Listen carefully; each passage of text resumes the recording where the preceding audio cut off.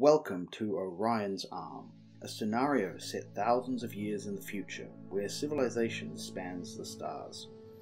Godlike ascended intelligences rule vast interstellar empires, and lesser factions seek to carve out their own dominions through intrigue and conquest. Out beyond the edge of civilized space and the human friendly worlds, adventure awaits those prepared to risk it all. Today, we are looking at where it all began, at least from the very limited human perspective. We are going to be recounting a condensed history of the Terragen Empire to understand how mankind rose from the beginning of the industrial era to a vast star spanning civilization. Before we begin, a note on the calendar system of the Terragen Empire. The standardized dating system used by the Terragen Empire is known as the Tranquility Calendar. Much like the Gregorian calendar, it uses two epochs to denote time before and after a certain event. In the case of the Tranquility calendar, the defining event is that of the first moon landing, July 20th, 1969 AD. This date on the Gregorian calendar marks the beginning of the year 0 AT, which stands for After Tranquility. On the Tranquility calendar, any time before this is referred to as BT, which stands for Before Tranquility. Because the Tranquility calendar was created as a calendar for scientific endeavours, the calendar is logically structured so that days of the week do not vary from month to month, and there are no changes in calendar structure based on year.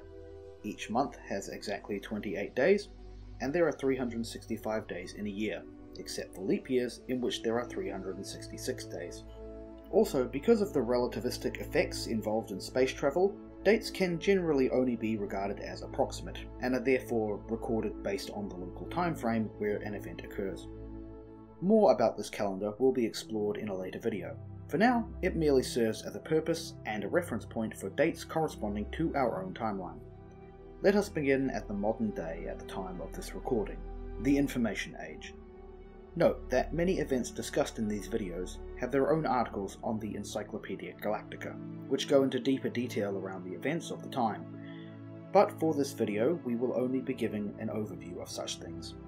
Later videos will discuss concepts, places, and events, such as the Achilex, the Nokozo, and the Great Expulsion, in detail, as these topics are far too vast to be included in this video. Let us begin with the 1st century AT.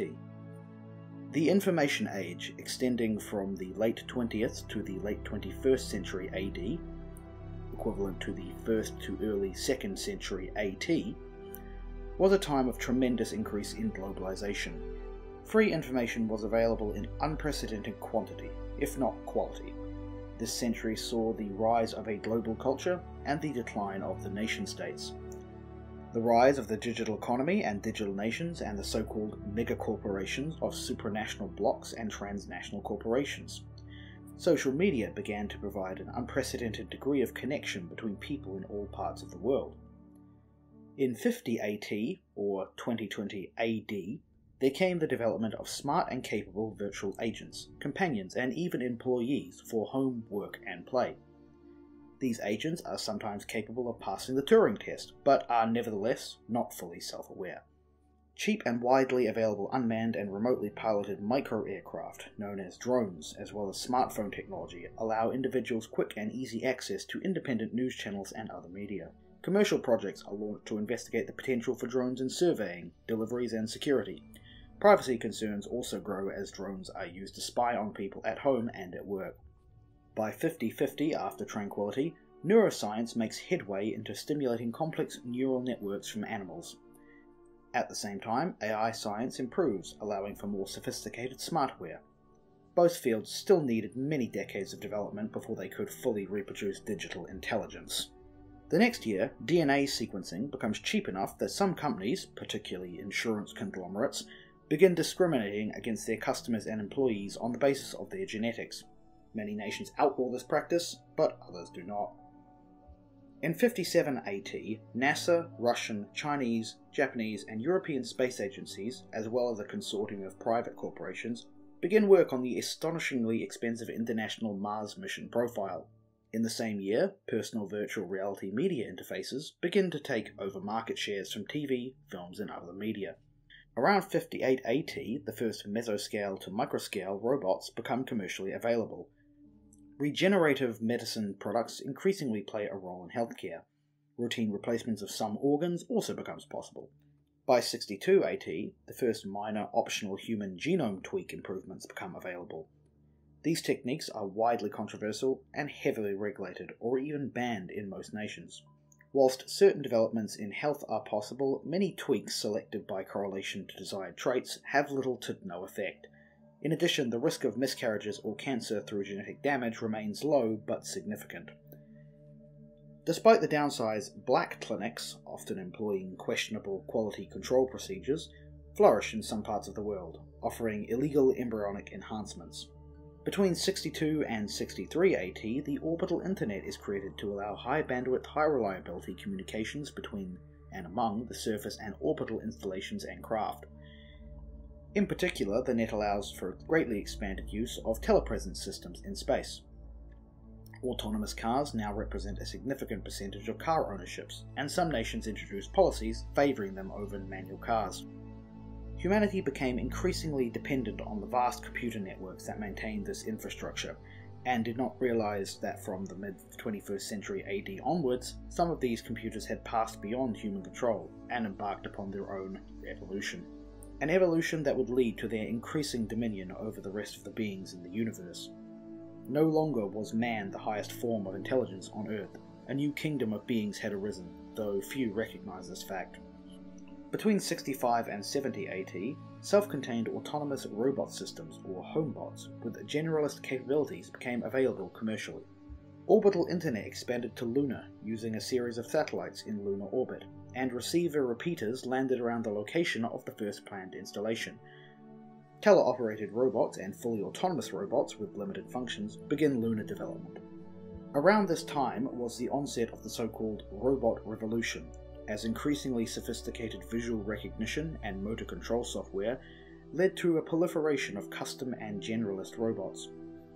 Human employment in physical labour begins a steep decline, leading to economic and social unrest in countries that do not have policies to cushion the blow. In 68 AT, the construction of the first permanent teleoperated Mars base begins. This base is entirely designed to be operated by telepresence and has no accommodation for biological inhabitants or visitors at this time. At the same time, the first manned Mars mission, the Discovery and the Endeavour, launched for Mars. They arrived in 69 AT, and teleoperated robots played a role in exploring various areas of the planet and are used exclusively to explore both moons. After this initial mission, exploration beyond the moon reverted to unmanned probes for another 25 years. In 70 AT, AI science achieves semi-sentient algorithms, known as SSAs. Whilst not yet sovereign or capable of human equivalent general intelligence, these programs were capable of impressive feats in specific fields. Increasingly, human labour was replaced with cheap SSAs that required only a few humans to supervise, troubleshoot, and input specific parameters for work. Coupled with a natural language interface, SSAs could even appear human, albeit with a noticeable social deficiency and lack of creativity. Alongside their development, pre-cooled air-breathing rocket engines allowed for the first transoceanic hypersonic airliners, as well as reusable single-stage to orbit vehicles. Initial costs are high, but dramatically decrease the launch cost to space. From 70 to 80 AT, there were further surges in development of AI and robotics. Within this decade, mankind witnessed the creation of the first semi-sentient AI, these entities were still not at a fully human equivalent level. The Second Industrial Revolution gripped the world as rapid advances were made in mostly biologically based nanotechnology, and the inexpensive production of extraordinarily strong and light materials enabled humanity to start to expand into the solar system. A room temperature superconductor is discovered on an orbital research platform. The new material is comparatively simple to make, but requires free fall conditions to synthesize, interest in space development increases markedly due to this. Near the end of the decade, a method of cheaply mass producing woven carbon nanotubes in freefall conditions was invented. The resulting lines, tapes, and cables can be produced in lengths limited only by the tensile strength of the material itself. further driving an interest in space development. By the 80s AT, or the 2050s AD, energy became the most important concern on Earth, as fossil fuels became exorbitantly expensive. All through this century, wars were fought over the dwindling fossil fuel supplies. Fission reactors are the most important source of energy in many countries, particularly fast breeders using uranium and thorium. But renewable sources of energy, including mass produced photovoltaics, solar furnaces, and wind power, are increasingly prevalent elsewhere. Hydrogen and biofuels are manufactured widely to replace expensive oil. Developments in propulsion technology and robotic manufacturing allow for even cheaper space access. Nanoscale technology is now common in many fields of industry, but nanoassemblers are not yet possible. In 85 AD, the first high energy laser launch systems were developed to boost cargo into low Earth orbit. Later designs employed a combination of magnetic acceleration and laser launch to boost crewed modules into orbit. Commercial fusion programs finally started to produce commercial power in the late 80s AT. In 87 AT, the first commercial fusion reactor, a deuterium tritium inertial confinement design, came online in France, supplying 300 megawatts of power to the European grid. Despite burgeoning energy costs, the success of the new Telenaut dominated space missions, Telenauts being remotely operated astronautic robots, fueled interest in space exploration. In 88 AT, an automated expedition was sent to Mars, delivering a magbeam system to planetary orbit to service the second Mars expedition. Magbeams had been developed several years prior, and are a mass beam based system used to accelerate or decelerate spacecraft without the use of onboard reaction mass. This is done by firing a beam of ionized matter at a target, transferring their kinetic energy through impact and accelerating the craft. In 89 AT, a coalition of several major corporations and investors launched an automated probe to intercept a near Earth orbiting asteroid, mine it, and return the results to lunar orbit. Built as a proof of concept mission, the probe returned 100 kilograms of asteroid material where it was picked up and delivered to the labs in geosynchronous orbit. By 90 AT, humanity saw the development of the first nominally human equivalent artificial intelligence developed on distributed supercomputer clusters.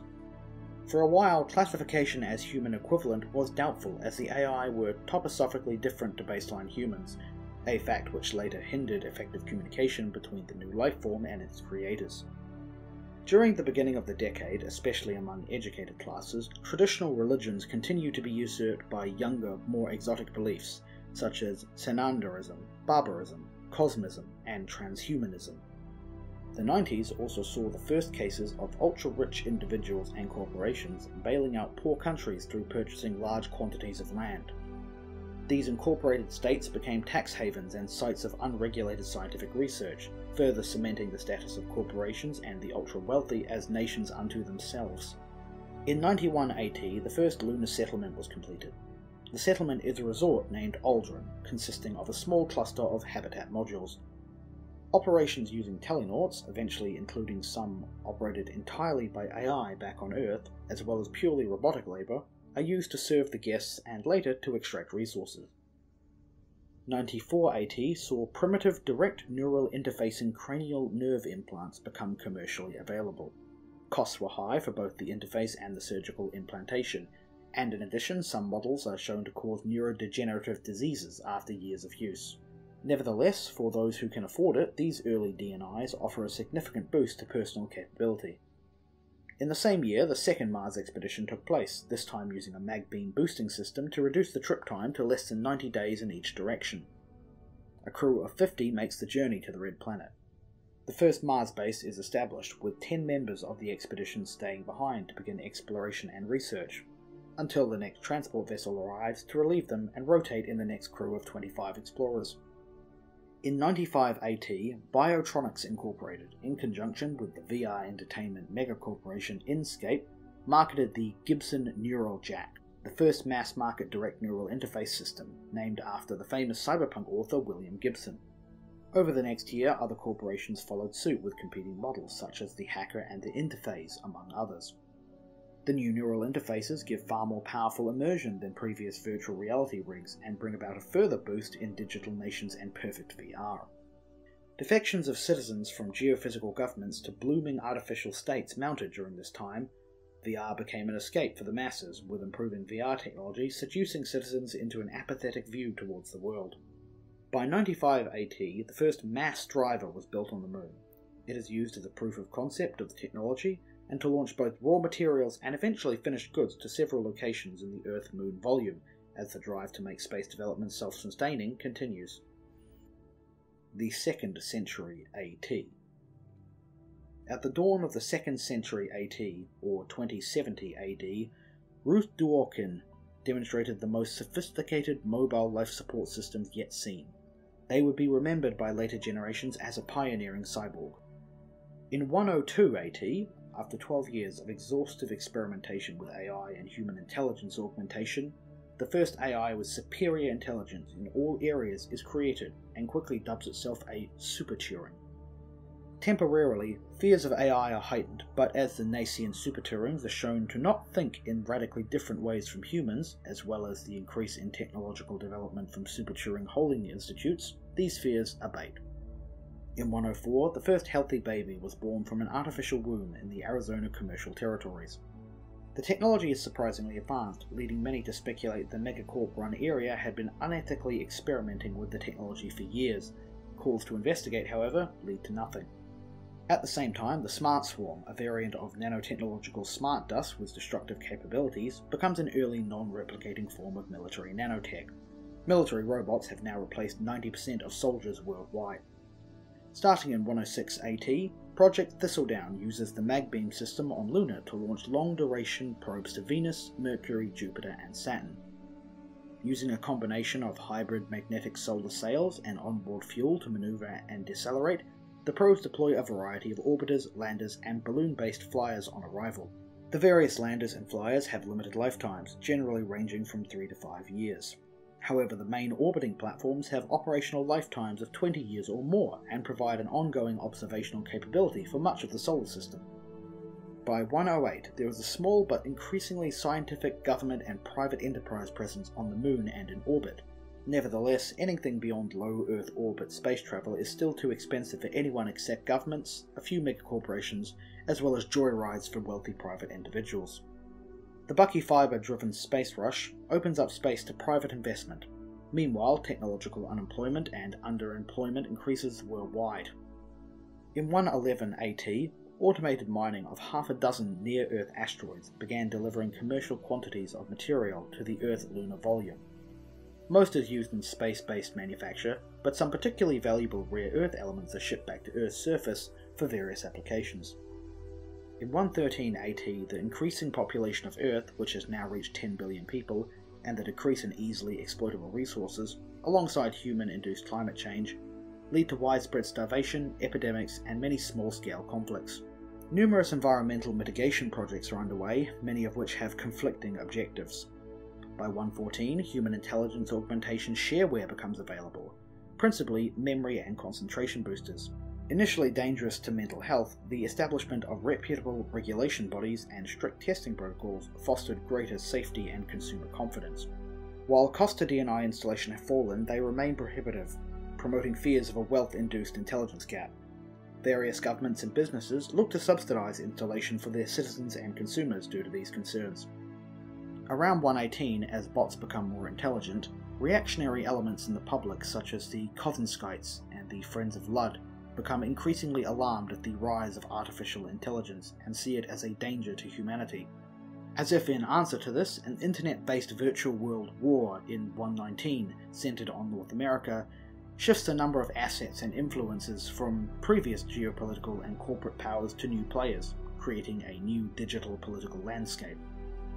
Finally, in 129 AT, the first crewed fusion drive spacecraft using a deuterium tritium Z pinch design took flight. Transit times to Mars are greatly reduced and expeditions to the outer systems begin to be discussed. However, the majority of traffic, and especially cargo, continues to use mag-beam propulsion.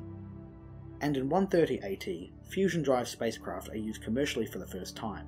These fusion rockets heat or otherwise energize a diffused plasma of exotic isotopes of light elements until a sustained fusion reaction occurs.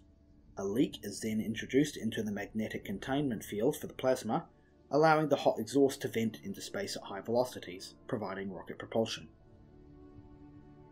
That wraps it up for this era of Terragen history. In our next video, we will be discussing the interplanetary age of mankind, spanning from 130 to 400 AT, a time when humanity continued to become increasingly involved with electronic and virtual worlds, and Earthbound humanity became increasingly dependent on the vast computer networks that maintained its infrastructure. If you liked the video, please subscribe to this new project, give it a like to appease the great YouTube hyper-Turing algorithm, and I'll see you in the next video.